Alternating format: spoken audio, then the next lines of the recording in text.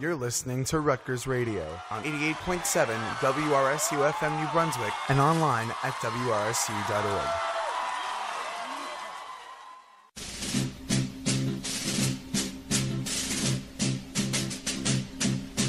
Fighting soldiers from the sky. Fearless men who jump and die. Men who mean just what they say. The brave men of the Green Beret. Silver wings upon their chest. These are men, America's best. One hundred men will test today, but only three the Green Beret. Trained to live off nature's land. Trained in combat, hand to hand. Men who fight by night and day. Courage take from the Green Beret. Silver wings upon their chest. These are men, America's best. One hundred men will test today, but only three win the Green Beret. Back at home, a young wife waits. Her Green Beret has met his fate. He has died for those oppressed, leaving her this last request. Put silver wings on my son's chest. Make him one of America's best.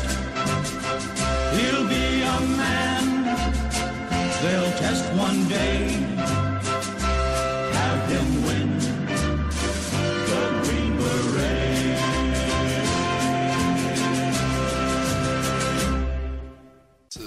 Veterans Corner. Okay, 30 seconds to countdown. Good luck. Watch and be like, now can you do that all over again? How do I sound now? Not good? Mm. This is a milestone event. We are excited to be here. Okay, we do a countdown.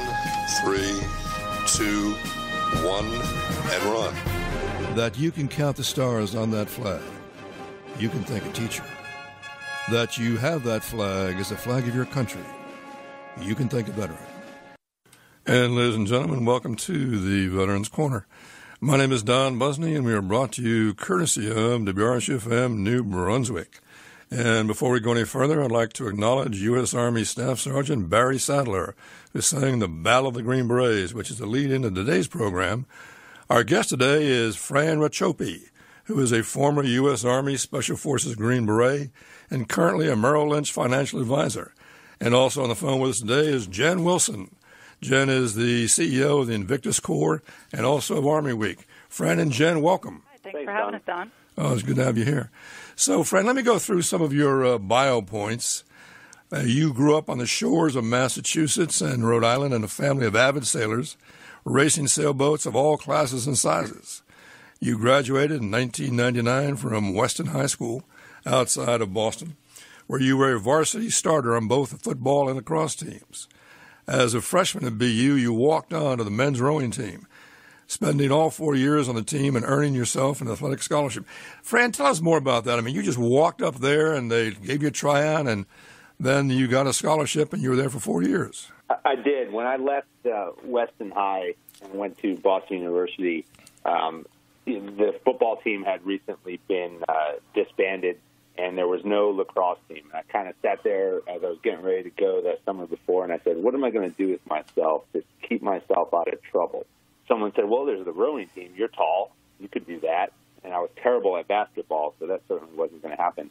Uh, so I went. I met the coach, and uh, we had a couple of good conversations. And he said, "Well, you know, if you want to try out, go ahead and do so." Because um, about 50%, you know, if not more, of some of the rowing teams uh, out there are actually made up of walk-ons, uh, you know, people like me who came on in their freshman year. So I went, um, did. Uh, I guess I did fairly decently, and made the the first freshman vote. And um, then uh, my sophomore year, you know, continued on and got a little bit of money in a scholarship, and then got a little more my junior year, and a little bit more than that my senior year. And uh, yeah, after four years, that was it. Well, that's, that's great. So you graduated from BU with honors in 2003 with a BA in journalism and a minor in political science.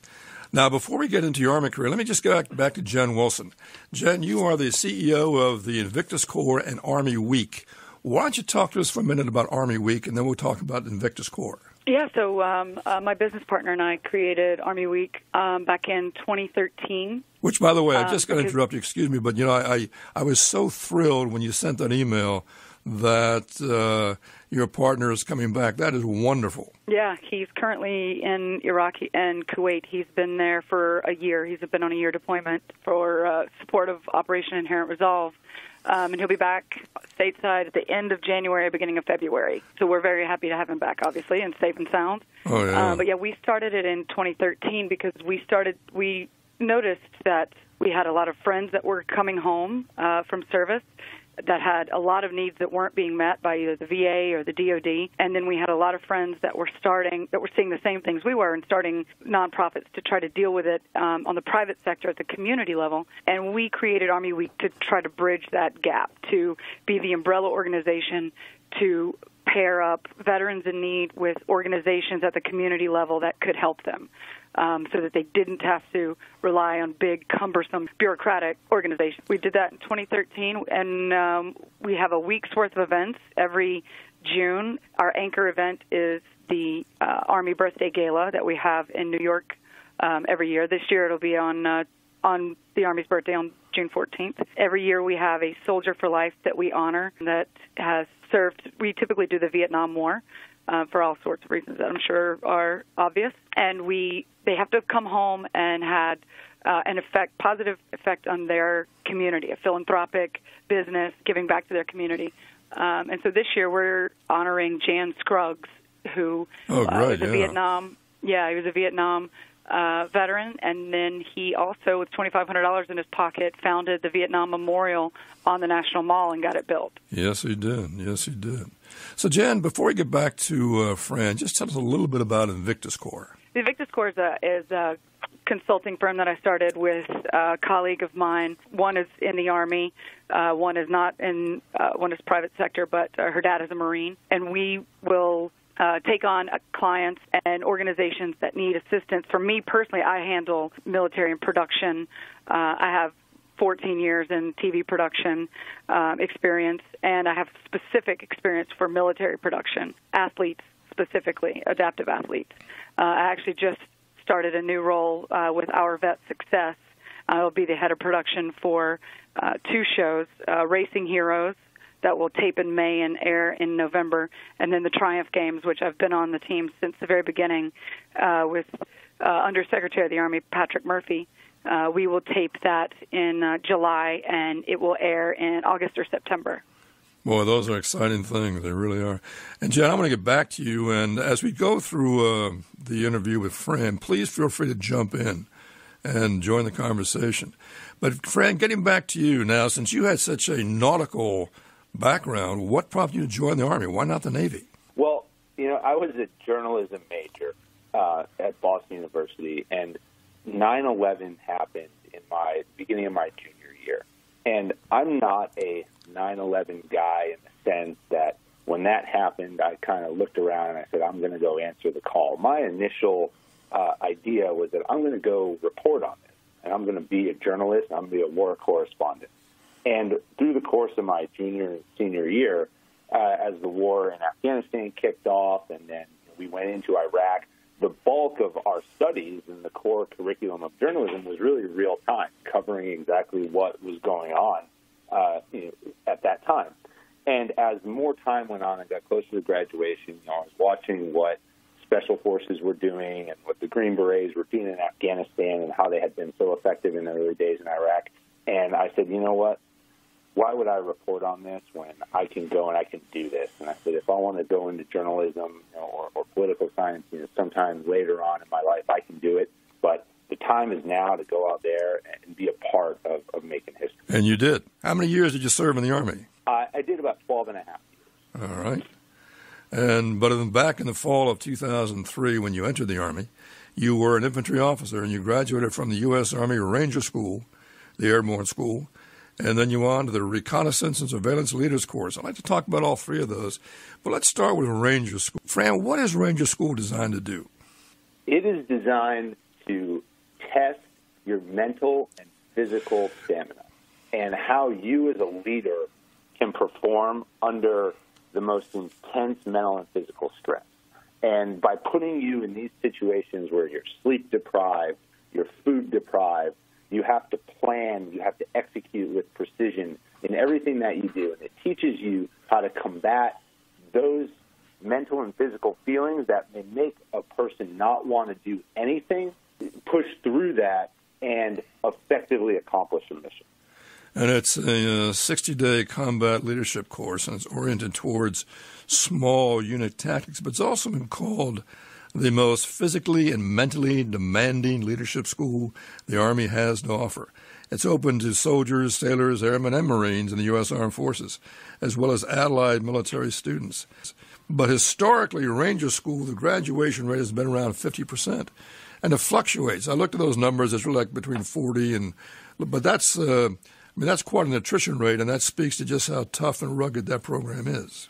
It is, and I think that you know I'm trying to think back to to my class, but you know I would say that you know we started with somewhere around you know, probably 300, 350 on day one for the initial uh, you know PT test, and I think we probably had uh, about 60 from the original class uh, who graduated you know, about two months later. And I remember you know, standing there in that formation at graduation, looking around, and you know there were definitely some people who weren't there that uh, you know were fighting hard and had been recycled and were getting some, you know, I guess we'll call it additional training um, while they worked towards their Ranger tab. But when I looked around, you know, I looked at everybody there. I knew that everybody there deserved the opportunity to wear the Ranger tab and graduate that day. Yeah, it must have been a wonderful feeling. But Fran, when you started Ranger School, I mean, it's a very daunting program.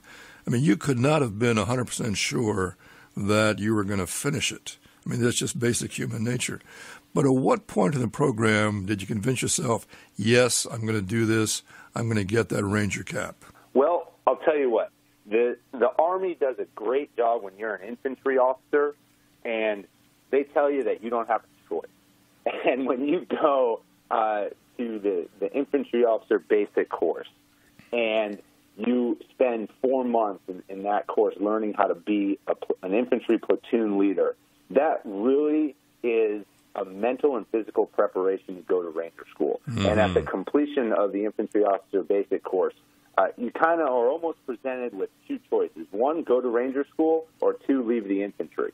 So, you know, I remember at the time when my friends and I were, were finishing up and getting ready to go to Ranger School, the only thing that everybody wanted was for us to go and get out of there because that was all we ever talked about. And they said, you know what, we don't even care that you're going to be gone for the next 60 days. Just get out of here so that we don't have to hear you talking about it anymore. Wow. All right. And you, that's what you went on to do.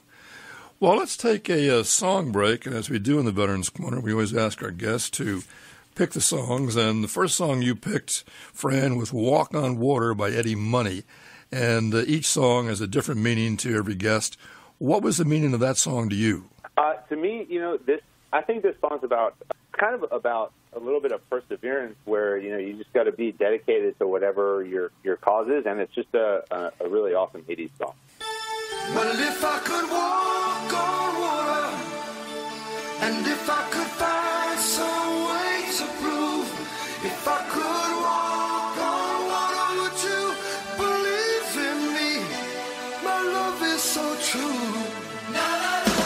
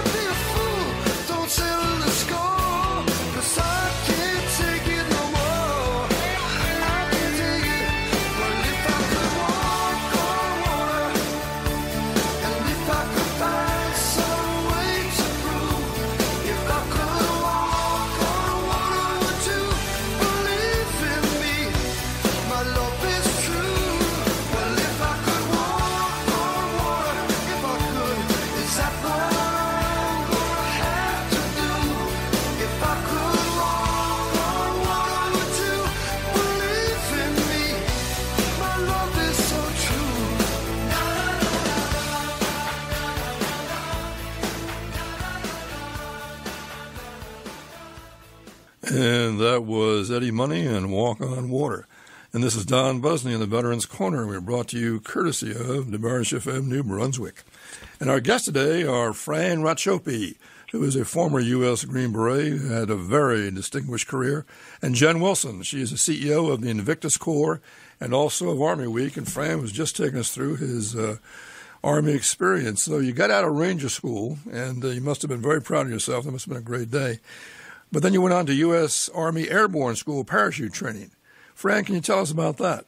Yeah, I was, uh, you know, I was one of the fortunate. I'll say fortunate, but you kind of have two choices when you uh, when you go. You can either get chosen to go to airborne school before Ranger School, or you can go to airborne school after Ranger School. And I like to say I was one of the lucky ones that went after, uh, only because you don't get the two or three jumps that you do in Ranger School, but you don't. You also don't get an opportunity to be injured.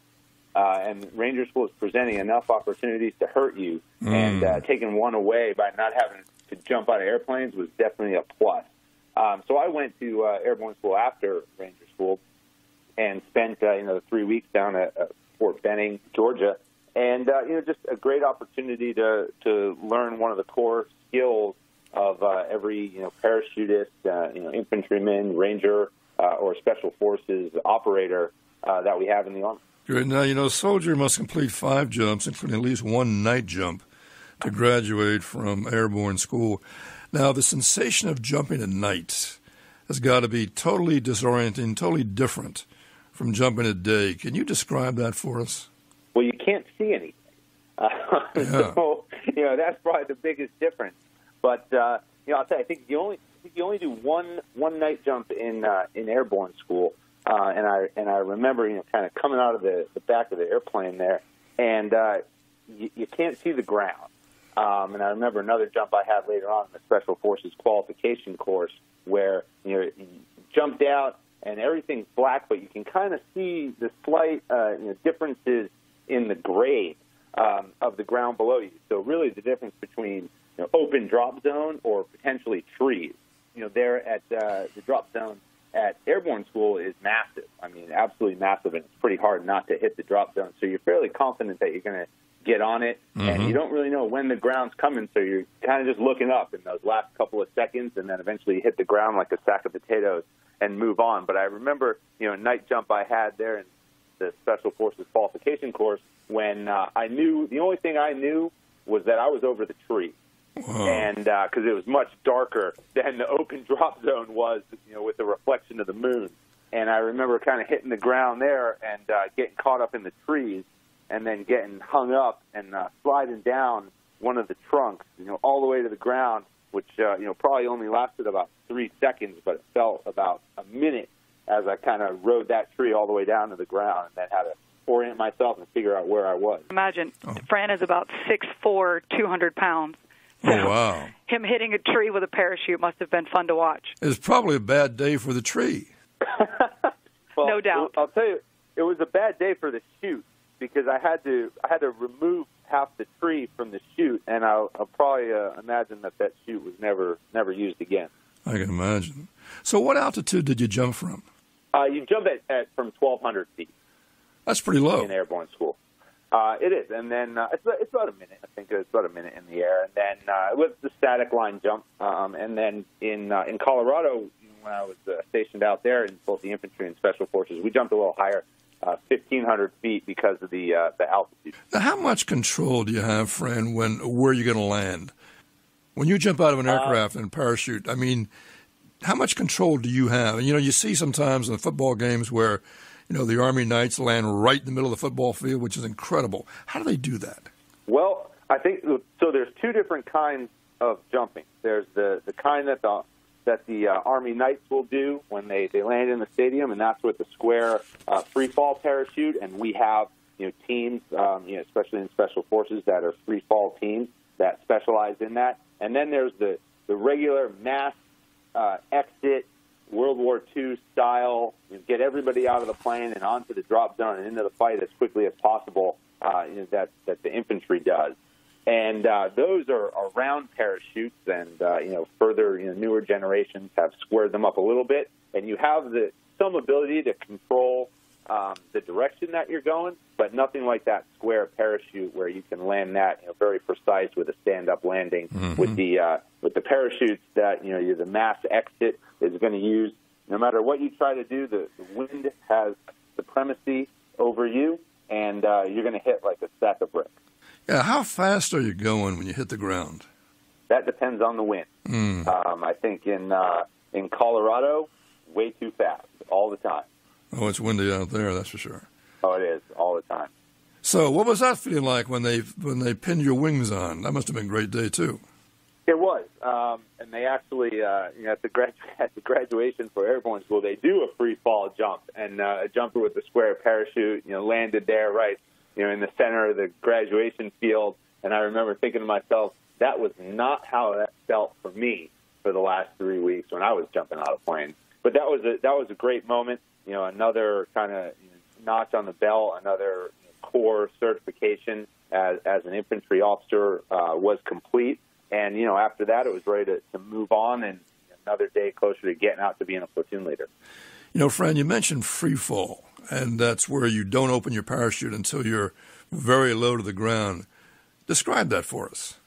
Uh, well, I would have to describe it through the lens of others because uh, my specialty in uh, in special forces was uh, mountaineering. So I was on a mountaineering detachment. But I know that uh, from the guys who were on the free fall team, they say there's nothing like it. Uh, you know, depending on the altitude that they jump at, maybe 25,000 feet, uh, I, I think is the norm. Um, that they get, uh, you know, a, a, good amount of free fall in there before they actually have to pull the chute, and it's really a, a core skill for some of our top tier operators because when it, you start talking about trying to get small teams of people into very precise locations, undetected, being able to have that capability at night with a very quiet insertion uh, is really critical to what we try to do around the world. Even when you're six foot four. Uh, there's guys bigger than me, Don. Really? Wow. Yep, they just they just fall faster. All right. Well, th- then you went on to Reconnaissance and Surveillance Leaders Course, which is a 29 day school to train to expert levels in reconnaissance, surveillance, target acquisition, battle damage assessment, communications, planning, foreign vehicle identification, and other skills. Tell us more about that, Fran. I think that this school was probably the coolest one that I went to in, in all my time um, because it really taught how to sneak around. And I, I say that, and you know, it's sort of joking, but you know, whether it was uh, a training environment was in the woods or whether it was more in an urban environment, it taught you the importance of being able to conduct reconnaissance and surveillance and being able to get close up to whatever your target was that you were watching and then how to report on it. And, you know, as we, uh, you know, enter into these conflicts around the world where having to understand what our enemy is doing is critical to our ability to stop them from uh, from conducting terrorist acts or whatever it may be. Uh, un- having these skills uh, is essential, uh, especially when you're operating in these small teams. Now, back to uh, Jen for a minute. Jen, how did you meet Fran? So Fran um, was introduced to us at Army Week um, this past year at our. Well, we we rang the closing bell at the New York Stock Exchange on the day of our gala, and he was a guest of uh, a, a mutual friend of ours, and then that same friend brought him to our gala. Friend had just gotten out of the military and just moved to New York a couple of months before, um, and so he was new to the area, new to the veterans community in New York City. And I've, I've never asked him this, but I have to imagine it was um, going to that gala, the first one as a as a veteran, as opposed to being in the military, active duty, uh, was probably um, certainly in the New York City area, probably a, a daunting experience. But we we were uh, introduced, and and um, our friend Mark uh, asked me to to meet with him and uh, sort of uh, introduce him to our community. And I met up with him, and I heard his his story. And then later, at, in a in a small intimate gathering, I heard his uh, his speech that he'll be doing uh, for Army Week in a couple of weeks. Um, and I sat there completely slack jawed for 45 minutes. And you know, I've I've been in media and television, and I've been to a ton of um, speakers events, but there was absolutely nothing that that he said in that speech that I could even pretend to offer any feedback on, except that it was fantastic. And so, after I heard that, uh, I knew that not only does, does the New York City veterans community need visible men like him uh, and women, obviously, but to show what it's like to be successful and to be not just in the military, but in their transition, and to see that yes, you're going to struggle, but you can succeed, and and you can do all sorts of different things.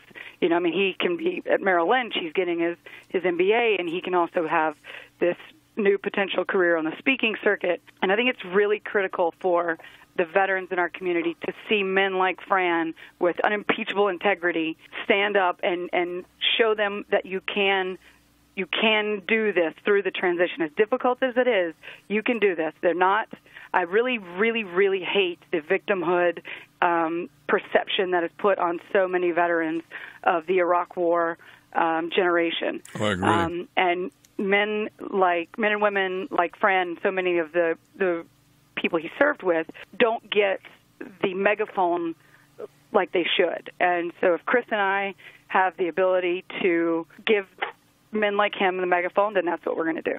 That's great. Well, let's go to another song break now. And uh, Fran, the next song you picked was "The General." Tell us about it. Why'd you pick that song? I think that well, first, uh, you know, I grew up in Boston. Uh, I'm from Boston, and I remember, you know, Dispatch when they first became a band and going to uh, some small venues. Uh, one called the, the Middle East um, over in Cambridge, you know, and, and paying three dollars to go and watch these guys who I've been able to watch their career explode since. But uh, the General is a great uh, song about a leader uh, identifying and taking care of the soldiers under his command. Well, here we go. Here is "The General" by Dispatch.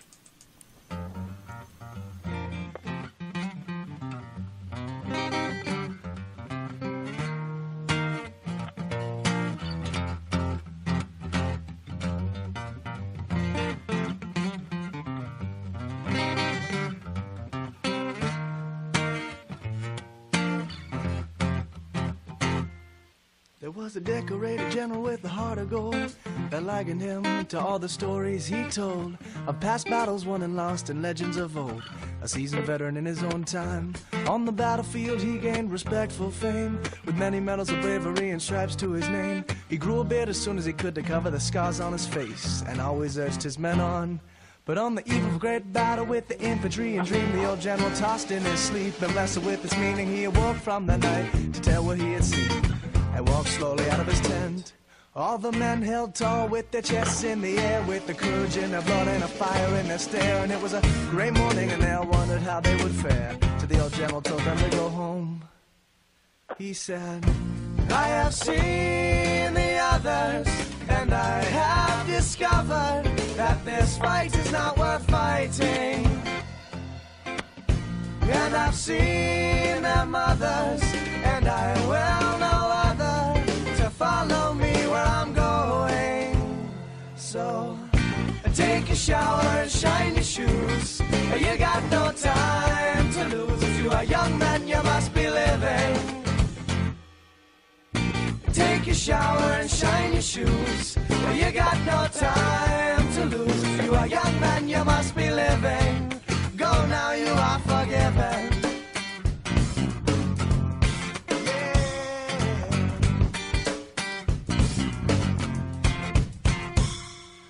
The men stood fast with their guns on their shoulders, not knowing what to do with the contradicting orders. The general said he would do his own duty, but he extended no further. The men could go as they pleased. But not a man moved, their eyes gazed straight ahead till one by one they stepped back and not a word was said. And the old general was left with his own words echoing in his head. He then prepared to fight. He said, I have seen the others, and I have discovered that this fight is not worth fighting. No, and I've seen their mothers, and I will know other to follow me where I'm going. So uh, take a shower and shine your shoes. Oh, you got no time to lose. You are young man, you must be living. Yeah. Uh, take a shower and shine your shoes. Oh, you got no time to lose. You are young man, you must be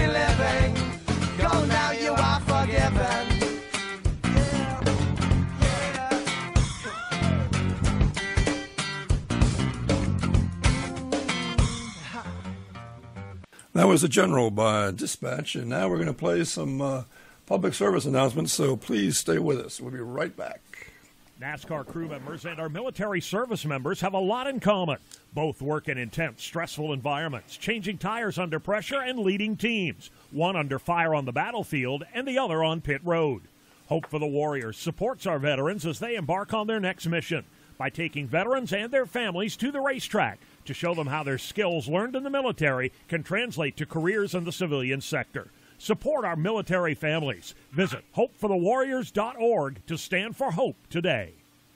My grandfather served in World War II. Spending time with him were the best memories of my life. I became a physician at VA because of my grandfather, so I can help others like him. I can't imagine working with better doctors or a more dedicated staff. I'm fulfilling my life's mission with the help of my team and thanks to these veterans. I'm proud to be a doctor at VA and proud to honor my grandfather every day. Search VA Careers to find out more. And we're back in the Veterans Corner. This is Don Busney. We're brought to you courtesy of WRSU FM New Brunswick. And our guests today are former U.S. Army Green Beret, Mr. Fran Racioppi, and Jen Wilson, who is the CEO of the Invictus Corps and Army Week. So that's an interesting song, Dispatch. It's uh, you kind of got to think about that one, don't you, Jen? Yeah, I had uh, I had actually never heard that song before. To to be completely honest. Yeah, it's I hadn't heard it either, but a couple of the guests have uh, requested it. And it particularly seems to be popular with the Army. Fran, why is that? I think one of the biggest reasons is because that is a song where the the general is thinking very critically about the situation in front of him, and he most importantly is taking accountability and responsibility, and he's not asking anyone to do anything that he wouldn't do himself. Mm-hmm. And as a leader, uh, especially a leader in the military or you know any even in the corporate world, you know anything where you're in charge of other people and the decisions that you make, uh, you know, affect uh, you know, negatively or positively the people around you and the organization that you serve. Uh, you cannot ask people to do things that you are not willing to do yourself. Oh, that is very true. So, Fran, you actually deployed to Iraq three times. Is that correct? Yes, that's correct. And the first time you deployed there in 2005 as a platoon leader as part of Operation Iraqi Freedom, and you spent 12 months. Now, whereabouts in Iraq were you? Um, I was in the city of Balad. Balad. So about uh, 35, 40 miles north of Baghdad. Can you tell us in an overview what your mission there was? Yeah, our, our mission there, um, much like many of the other infantry units, was to secure the, the local area, primarily the city of Balad, um, and to you know, seek out and uh, arrest uh, any of the insurgent uh, elements that may have been present in the area. Um, that area at the time was uh, had been a, a Ba'ath Party uh, head, headquarters under Saddam Hussein. Um, there were a lot of people who still remain loyal to the previous regime, and it was a, a hotbed for um, some of the sectarian violence that occurred in the, the 2005 to 2007, 2008 timeframe. So, when you came back from Iraq, that wasn't punishment enough. You wanted to punish yourself some more. So, you went to the Special Forces Qualification Course, also known as the Q Course, and that can last anywhere between 56 and 95 weeks. Tell us more about that, Fran.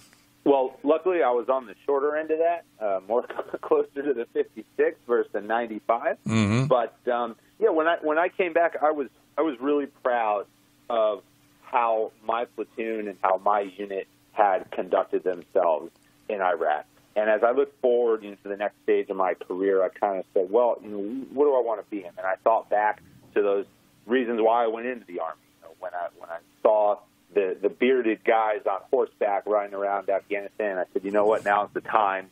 Uh, my window is open to go into uh, special forces, and I sent my application in to go to the selection for special forces qualification course, and uh, went to that and was selected, and then went on uh, to the school. so, you know, it was about kind of achieving that goal that I had when I set out to come into the Army and then take the next step in my career. Now, you deployed to Iraq two more times, serving as Mountaineering Special Forces Detachment Commander from 2009 to 2012. Now, the mountaineering part is the part that really interests me. I thought that was the 10th Mountain Division. I thought they did that. So historically, you know, back in, in the the World War II days, you know, the the 10th Mountain Division had been had done a lot a lot of mount, mountaineering operations, and they were even at one point located at Fort Carson, Colorado, at Colorado Springs. When we look at uh, you know the construct of special forces units uh, across the Army, we have teams that specialize in different things, and one of those things that they specialize is mountaineering. And I, and I was fortunate enough to uh, be on one of these teams and command one of these teams for three years. And I will tell you, there were a lot of days where I looked around and I said, "This is my job. This is amazing." And you couldn't replace it with anything else because I was training, um, whether it be internally training our own team or our own company, our own battalion on cold weather operations and skiing uh, and avalanche certification, uh, or whether it was taking some of our foreign partner forces from different countries around the world and teaching them skills up in the Rocky Mountains, you know, outside of uh, you know, Colorado Springs. Uh, it was an amazing opportunity uh, to learn some really critical skills that helps us to operate in the environment. So in 2013, then, you deployed to Djibouti, which is at the boot of Africa in support of Operation Enduring Freedom. And in that assignment, you coordinated special operations to combat al Shabaab throughout East Africa. And al Shabaab, as we know from the news, is an offshoot of the Islamic Courts Union, which splintered into several factions after its defeat in 2006 by Somalia's transitional federal government. Al Shabaab's troop strength was at one time estimated to be between seven to 9,000 militants. And now, as of 2017 or 16, the group seems to have retreated from major cities, but it still controls a few rural areas. Fran, what can you tell us about that? Well, one of the, the critical things that special forces and special operations uh, does, you know, outside of some of a declared war zone like Iraq and Afghanistan, is enable and prepare our foreign counterparts to uh, combat terrorist threats. And when you look at you know, Africa as a whole, or you know, especially East Africa, uh, building up the capabilities of the nations um, individually is of critical importance. And as we look to combat Al Shabaab there in East Africa, you know, who were kind of centered in, in Somalia and had been responsible for kidnappings and attacks within Kenya and, and Uganda and Tanzania, and then also for some of the piracy that was occurring off the coast, off the Horn of Africa. That was a major international effort uh, led by an organization called AMISOM, or the African African Mission. And our job was to go out and find and train and equip uh, some of these foreign nations and some of their their units there to be able to uh, conduct counterterrorism operations against Al Shabaab, not only in Somalia but also in the region. Then in 2014, you uh, planned and coordinated the Special Forces response to Boko Haram in West Africa. Tell us about that. Well, I was fortunate enough uh, during that, that time period, you know, spring of 2014, shortly after Boko Haram had kidnapped the 200 plus schoolgirls, uh, to be stationed in Germany and part uh, of the headquarters element that was coordinating the special forces operations in Western Africa.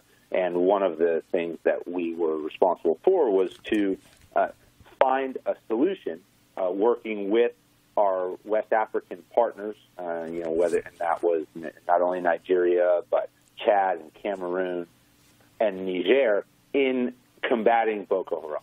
And so it was a very multinational effort. Um, it gave me the opportunity to travel the region extensively and work with some of our, our foreign um, militaries and come together uh, as partners, along with some of our you know, Western allies, to build a force um, in, within each of these countries that could then combat and contain Boko Haram uh, with the goal of preventing them from spreading throughout the region, and then also bringing these girls back. Now, where does that stand? How successful has it been to rescue those girls? You know, building a coalition um, is always a challenging effort, Oh, especially know, when it's in it's in the light of um, the, the news, um, especially the international news, as this event was. And I think it took some time to get those efforts aligned across very different countries with very different mindsets uh, and very different cultures. And as things started to solidify in the months after the, the kidnapping and over the course of you know, the ensuing year, year and a half, and everybody came together, it's been effective so far.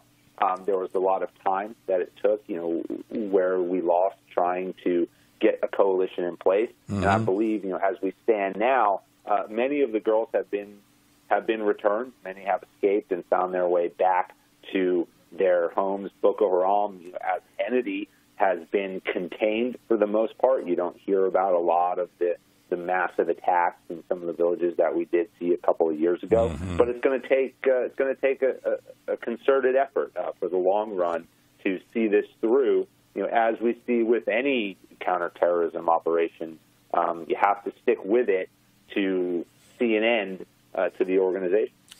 It is very time consuming, and it's always a long term strategy to do that. Well, let's take another song break now, and this next one kind of speaks for itself. I think it probably is the mantra of uh, the Special Forces. It's called Living on a Prayer. So here we go Living on a Prayer by Bon Jovi.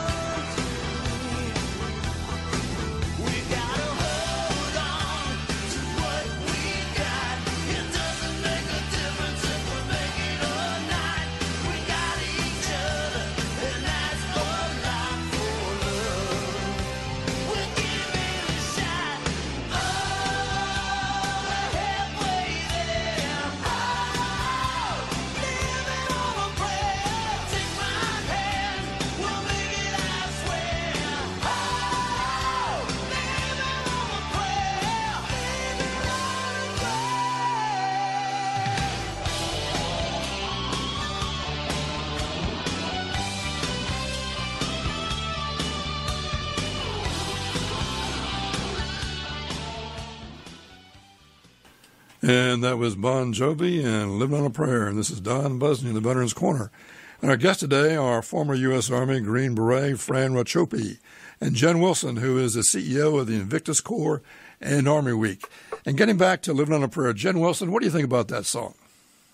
Well, you said it was the the mantra of uh, the Green Berets. I really think it's the mantra of um, karaoke late nights for the Green Beret. I think you're right. You sound like you've you sound like you've had some experience there, Jen Wilson. Five or four. I've Oh. had a couple. I guess. I guess. All right. Well, we won't go into that unless you want to.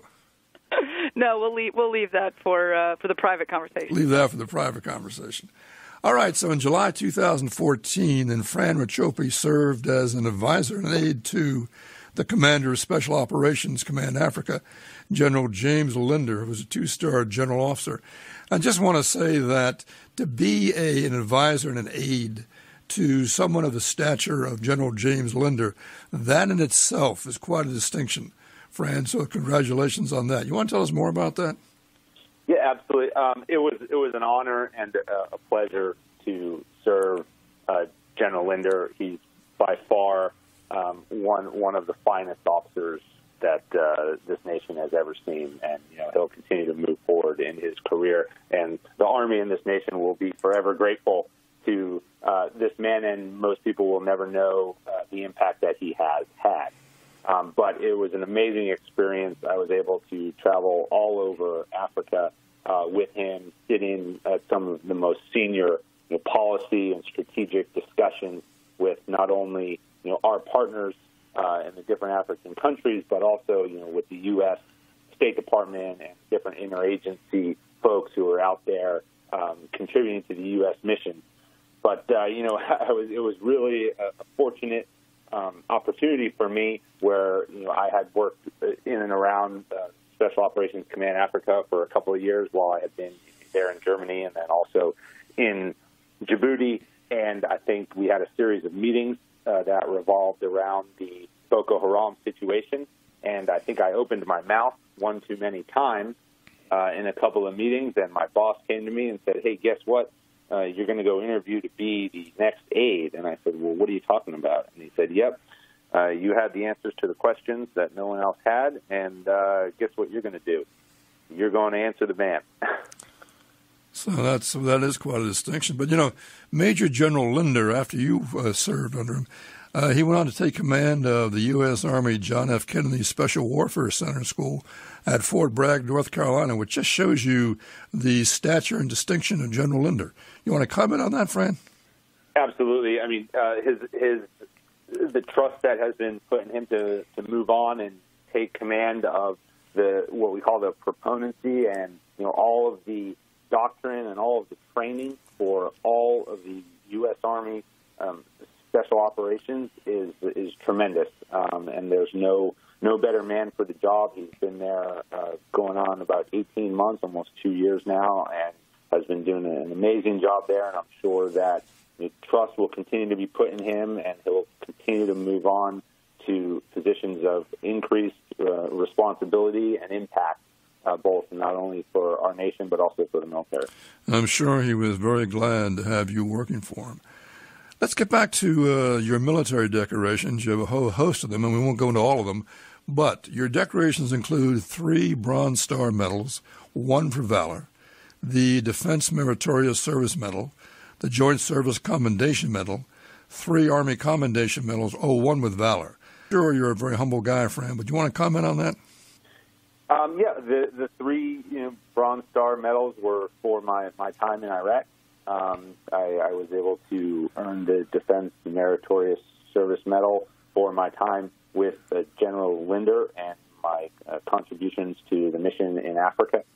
I was able to uh, get the Joint Service Commendation Medal for my position in Djibouti versus uh, Al Shabaab, and then uh, the three Army Commendation Medals, you know, for various things in my career, and the one uh, Valor Medal, which was a, an Army Commendation Medal, was for uh, an instance in Iraq when I was an infantry platoon leader, uh, in which we were on a company operation, which uh, you know, all units were engaged with the enemy at various points, and I guess you know often you make uh, you get awards for valor when all of your rational thought uh, is dismissed, and you I guess just you know operate by instinct, and uh, you know it's not something you think about. I'm very gracious to my leadership for you know, putting the trust in, and you know, valuing my contributions. But you know, again, at the time, it was about uh, you know, getting our our brothers out of harm's way and doing everything we can to combat the enemy. Well, Fran, thank you for your valor and your service. Now, today you live in New York City and uh, you work in wealth management and financial services at Merrill Lynch. I'm not even going to begin to ask you what that transition must have been like, but share some thoughts with us. Well, it's been a great transition. It's a great organization. Wealth management and the financial services are really at the core of you know, everything that's done in you know the world, especially in the corporate sector and the business environment. Uh, so combining that experience there with getting my MBA from NYU Stern has been a really important stepping stone to the next chapter of my life. And when you, you look forward and think about, well, where do I want to be in the future? And you think about, well, how did I get to where I am now? And one of the most important things that the Army does is it teaches you that you have to have an academic base for everything that you do. And at every promotion and at every new job you have in the military, you go to school. Uh, and you get that academic base, and then after the graduation, you move forward, and then you start to apply that uh, in, on a practical matter, you know, in the real world. So as I've kind of stepped into this new chapter, getting the MBA was the first step. Combining that with you know, working in an industry in which I, am passionate about and want to make a difference in and contribute to uh, has really been the key to uh, moving forward. That's great. Well, before we uh, close out the program, I just want to ask Jen Wilson about. Uh, she's hosting a program at HBO on January 26th, of which Fran Racioppi will be the guest speaker. Jen, tell us about that. That sounds like an exciting event. Yeah, so HBO has been one of our uh, partners um, since the very inception of Army Week. Um, we uh, had their former CEO, the CEO emeritus for 30 years, Bill Nelson, as our first Soldier for Life. Um, and their current CEO, um, Richard Plepler, has been a supporter of ours since the very beginning. And so once a year, they'll give us their theater um, at their headquarters on 42nd Street um, to screen one of their documentaries. And then we usually stage a panel or a speaker. And like I was saying earlier, um, I had heard I had heard Fran's um, speech a few months ago, and uh, I knew that uh, I wanted to use our megaphone to help further his speaking uh, engagements and to get the words that he has out to the masses. And so on the uh, 26th of January, we're screening the HBO documentary "Only the Dead See the End of War," which was shot over about eight years by the the filmmaker, and he was playing both sides of the fence in Iraq. He was dealing with al-Zarqawi and dealing with the Americans, um, and so you get to see both sides and it's all handheld, so it's it's incredibly uh, compelling uh, documentary. And then uh, Fran will be speaking for about 45 minutes. And he doesn't even know this yet, but um, as of about 10 o'clock this morning, it was uh, sold out and waitlisted. Wow, that's great. That's great. So we're at the top of the hour, and we ask our guests to uh, give a shout out to family, friends, and loved ones. So starting with Fran Racioppi, you're on. Yeah, I just want say give a shout out and say hi to my seven year old daughter Lily. Jen, how about you? Mine obviously will go out to Chris because he will be home and at the end of the month. Obviously, he's not listening, but we'll send him the uh, the footage later. But Christopher Page, I can't wait to see you, pal. Oh yeah, me too. I mean, I really had a nice association with Chris. I was working in New York when uh, so was he, and uh, yeah, a finer gentleman you couldn't find. And uh, we're going to welcome him back with open arms. And thank God he made it uh, safe and sound. Amen to that. Well, again, I want to thank Fran Racioppi, former U.S. Green Beret, and Jen Wilson, the CEO of the Invictus Corps and Army Week, and thank you for being on the Veterans Corner. It has been a real pleasure. Thanks for having us, now, Don. to all the yeah, thank you, Don. men and women who wear the uniform of the Armed Forces of the United States, and all you veterans out there who have worn the uniform so proudly, with a special shout out to the over 2,000 student veterans here at Rutgers University. This is for you.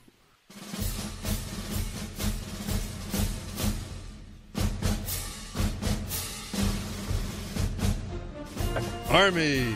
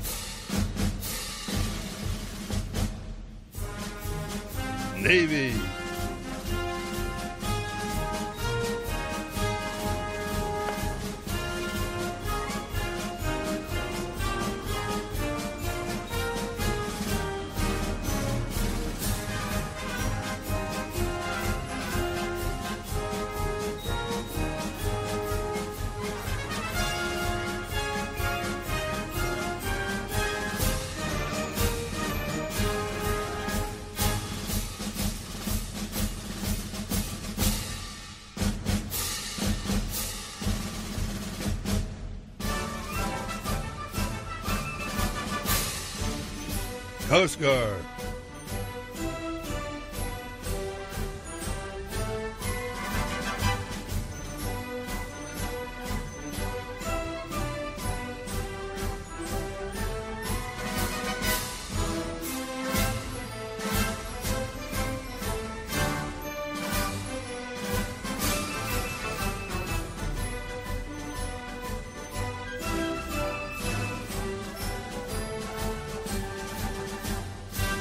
Air Force.